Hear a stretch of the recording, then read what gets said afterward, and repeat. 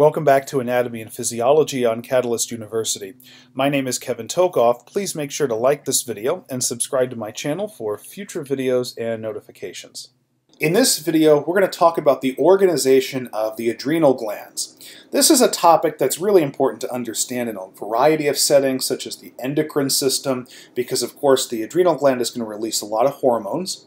But also when you talk about other body systems, such as the kidneys, turns out that we're actually going to have one of the hormones, that is aldosterone, that is acts on the kidneys. And so some other body systems, it might be important to understand the structure of the, of the adrenal glands, and that's going to um, relay its function. All right, so let's first talk about where the adrenal glands are. Well, the adrenal glands sit on top of the kidneys. So this is the right kidney over here, and what we can see is that the adrenal gland is kind of like a hat. The kidneys wear a hat. The hat is the adrenal gland. So this is the right adrenal gland. So there's one on each side. Um, and because they sit on top of the kidney, another name that you might see for the adrenal gland, it's not as commonly used, but it's called the suprarenal gland. Supra means above, and renal refers to kidney, so they're above the kidney, so they're suprarenal glands, right? So there's two of them. Now, each adrenal gland is organized into four separate regions. Um, we have three that are more superficial, and collectively these are called the cortex. We're going to talk about each one of these layers of the cortex individually. They all have a separate function. And then the central part of the adrenal gland is the medulla, or the adrenal medulla. And then at the end of the video, we'll actually look at the microscope image, the histology. First, let's talk about the adrenal medulla. So the adrenal medulla is a different type of tissue than the rest of the gland all these three layers out here, the cortex, the adrenal cortex is endocrine tissue. Okay? The adrenal medulla is nervous tissue, and it's going to actually play a role in its function. So the adrenal medulla is going to synthesize substances called catecholamines, and there's three of them that it makes and releases. Those are epinephrine, norepinephrine, and dopamine. The vast majority of the, of the uh, released catecholamines are epinephrine. There's a little bit of norepinephrine and then a very small amount of dopamine. Okay, and these are released directly into the blood, and particularly the epinephrine, they produce a fight or flight response. So they produce a sympathetic response. Okay, now the stimulus for the adrenal medulla to release these catecholamines is activity of the sympathetic nerve. So there is a sympathetic nerve that is going to innervate the adrenal medulla. And so when the brain perceives that you need a fight or flight response, you need to respond to something, so you're going to produce these catecholamines, the sympathetic nerve generates a bunch of action potentials that innervate the medulla, and those action potentials trigger the medulla to release these substances via exocytosis. So they're released via exocytosis directly into the blood and they act very, very quickly. And to give you an understanding of how fast this actually occurs, that is the activation via the sympathetic nerve, release of these substances via the adrenal medulla into the blood, and then binding to receptors. So to give you an understanding how fast this is, so that is the process of activation of the sympathetic nerve, action potentials, then release of these substances from the adrenal medulla, and then binding to receptors. It has to have that too.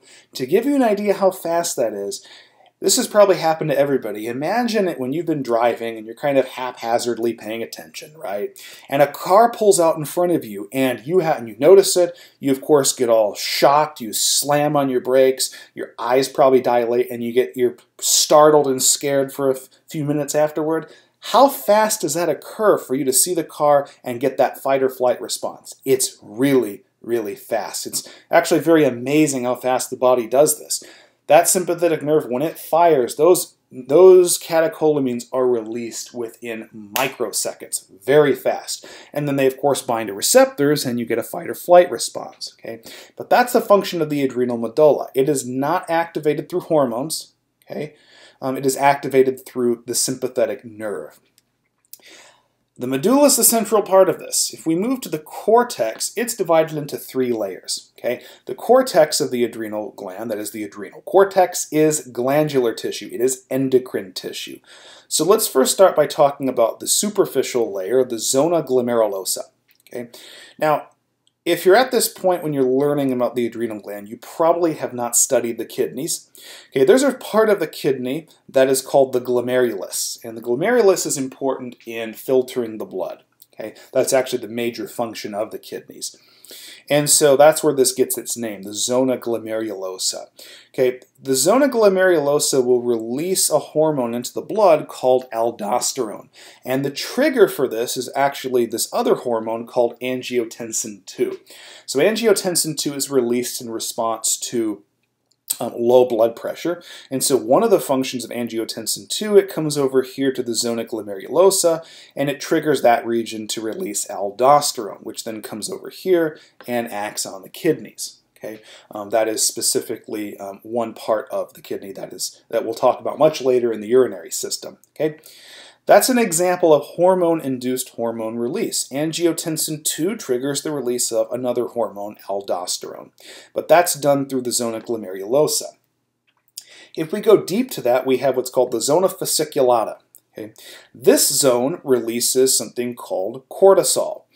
So it's important to understand that most organisms release cortisol as their glucocorticoid. Rodents, such as mice and rats, actually release corticosterone. We're not going to talk about the reasons for that in this video, but humans release cortisol. If you have an anatomy and physiology course, it's probably about humans, so go with cortisol. And it's going to be released in response to another hormone, ACTH. This is a hormone that's released from the anterior pituitary and it's adrenocorticotropic hormone. So it travels in the blood from the pituitary to the zona fasciculata and triggers these cells to release cortisol. And the function of cortisol, or corticosterone in rodents, is just to ensure energy availability to vital tissues like the brain. Brain is really important for that. So cortisol has a glucose-sparing effect for the brain. Okay? But that's the zona fasciculata. Now this other layer right here, which is the deepest of the cortical layers, deepest of the adrenal cortex, that is, is not really talked about a whole lot, but I'm going to actually mention a few cool things about it. This is called the zona reticularis. The zona reticularis plays a role in secreting androgens. Now, I didn't include it here, but I'll go ahead and add it. The reticular layer, that is the zona reticularis, uh, releases these mainly in response to ACTH, but also CRH from the hypothalamus mainly ACTH though. And what these hormones are is they're androgens, and they produce secondary sex characteristics.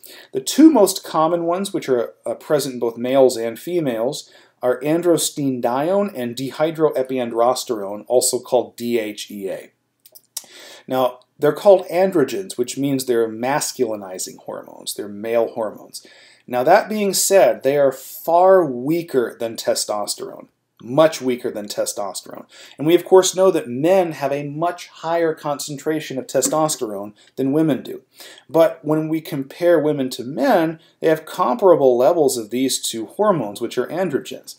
And these hormones explain why, naturally speaking, that is, women actually have armpit hair, axillary hair, or they have pubic hair, Okay, um, those regions where you have that hair growth are due to these androgens right here. Okay, now of course in a lot of cultures here in the United States, probably a lot of other places, um, women shave those regions for different reasons.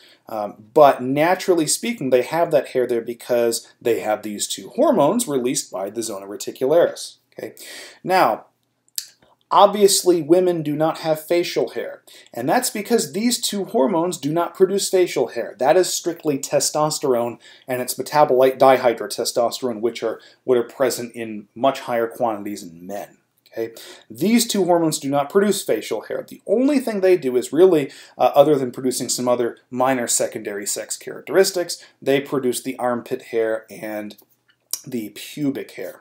Okay, so hopefully that makes sense. But again, um, they're present in both males and females. Sometimes we kind of neglect the zona reticularis, but it's got some cool considerations right there.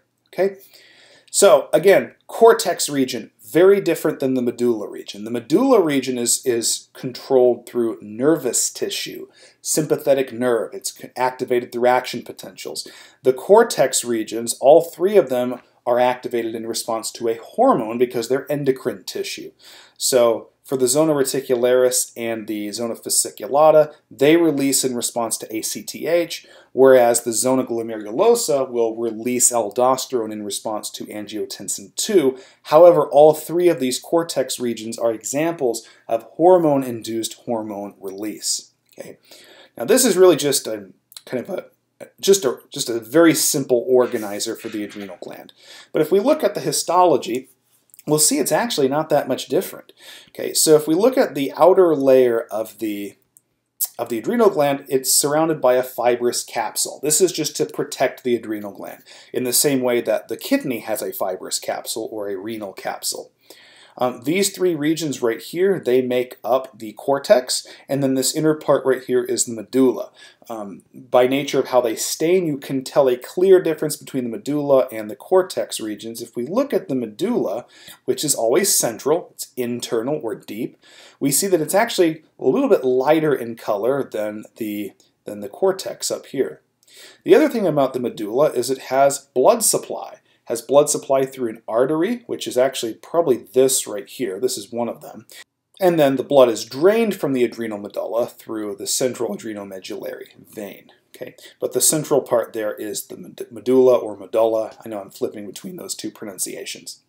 All right, here's the cortex. This is the outer part. And of course, we see the superficial layer is the zona glomerulosa. The inner one is the zona fasciculata, and then directly on the surface is the zona reticularis. Um, when you're looking at these, um, it can be a little bit difficult to tell the difference between them. If you kind of just know the general three layers, and they're really all about the same length. If we do look at the zona glomerulosa, though, what we'll see is that there's a lot more kind of whitish region interspersed there than we see in the in the deeper two layers. Okay, so that can clue you in on where the zona glomerulosa is. If you look at the zona reticularis, pretty consistently all around, the zona reticularis is a little bit darker, just a hair darker than the zona fasciculata. That can also help you tell the difference of where they where they kind of cut off. But in general, um, they're pretty much the same length or the same depth, I should say, all across the board.